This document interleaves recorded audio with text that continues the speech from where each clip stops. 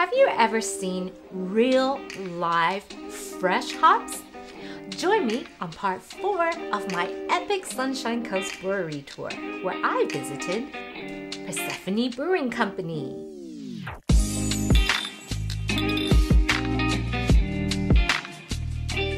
Hello, everyone! Welcome to Happy Hour with Oli. I'm Oli, and what are we drinking today? Today we will be drinking Persephone Brewing Company's Goddess Golden Ale.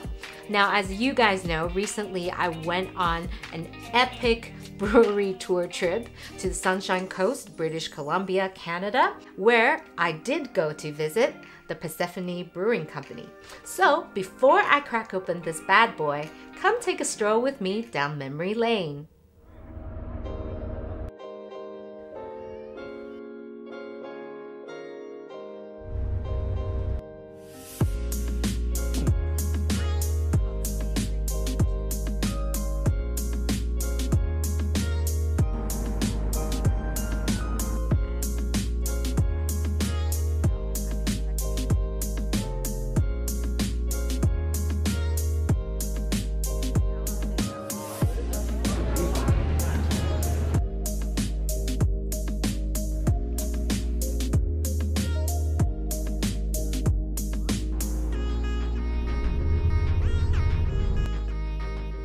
Are these hops?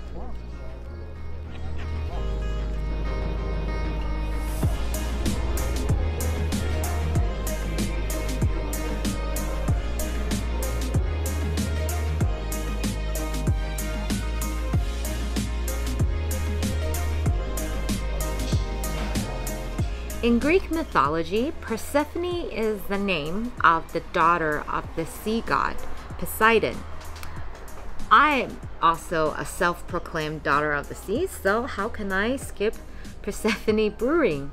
Also, I had their beers before and I really enjoyed their IPA. So now I'm at the brewery. I'm, of course, gonna try a selection of the different kinds of craft beers they have on offer.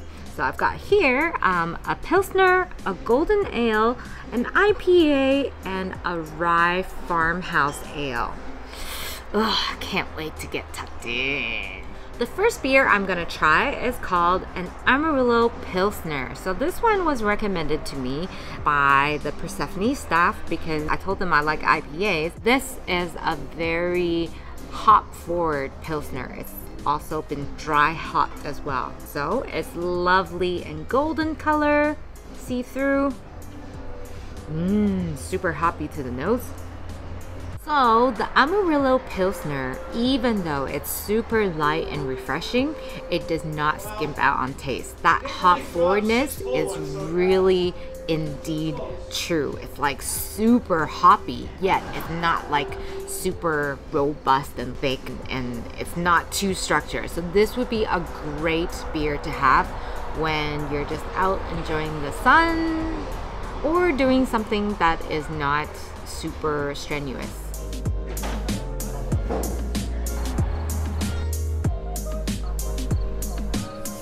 This next one that I'm gonna test is called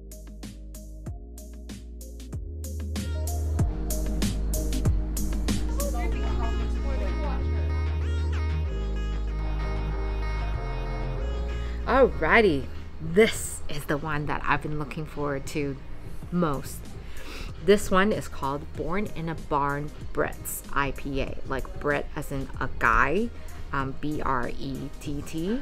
So this one, I'm assuming he was born in a barn, hence his IPA.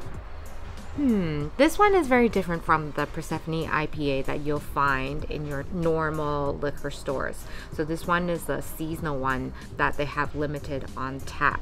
As you can see, it's very cloudy and uh, very golden orange juice looking. I'm really going in expecting citrusy flavors and like just by doing this, mm, I'm getting lots of citrus fruits on the nose. Ah, tangerine! That's what it tastes like.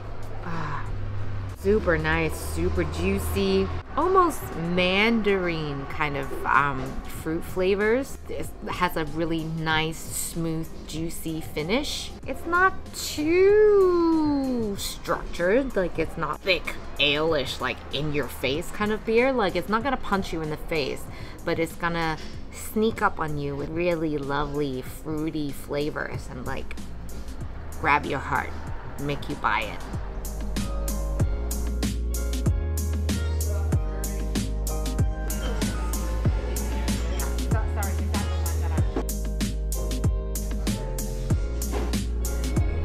Lucky last, this one is a rye farmhouse ale.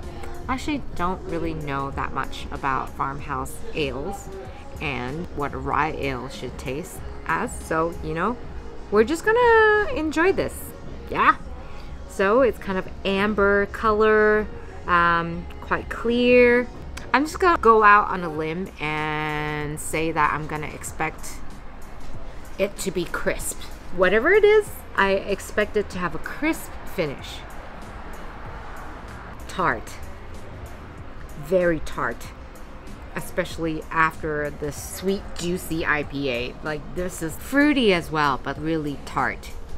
Sour. Tangy. I know I said I'm gonna expect a crisp finish. No, it's a fruity finish. Um, just for me, every time I encounter the flavor of sour, I'm not so good at discerning the other flavors that should go with it. It's not a bad beer.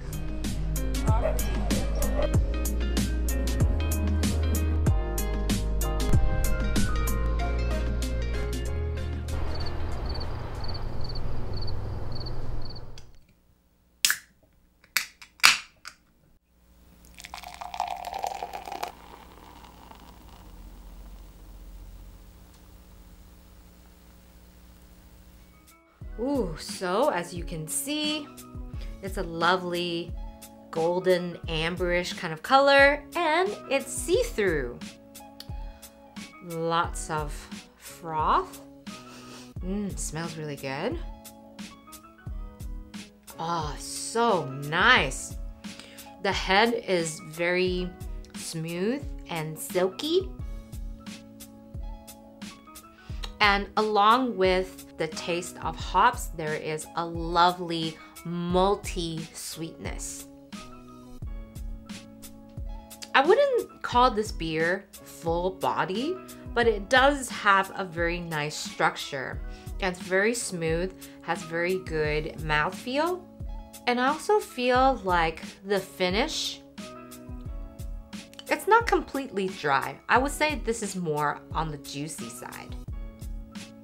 As you drink the beer, right away when it's in your mouth, it's lovely and sweet and has this maltiness and almost nutty quality. And then as it fades away on your tongue, it kind of disappears into a juicy finish that is a little bit more on the hoppier side. So just a tiny, tiny little bit of bitterness. I really like it. You can tell because I just drank half the cup. So, my conclusion is I really like this beer. It's every bit as tasty as I had remembered on my trip. And that's why I think beers make the best souvenirs ever. Are you a fan of Persephone Brewing Company? Are you a fan of golden ales? Do you have other golden ales for me to try? Comment below and let me know. Don't forget to press like and subscribe so you'll never miss a happy hour adventure with me. Also, look me up on Instagram and use the hashtag happy hour with Oli. Until next time, cheers mates! Bye!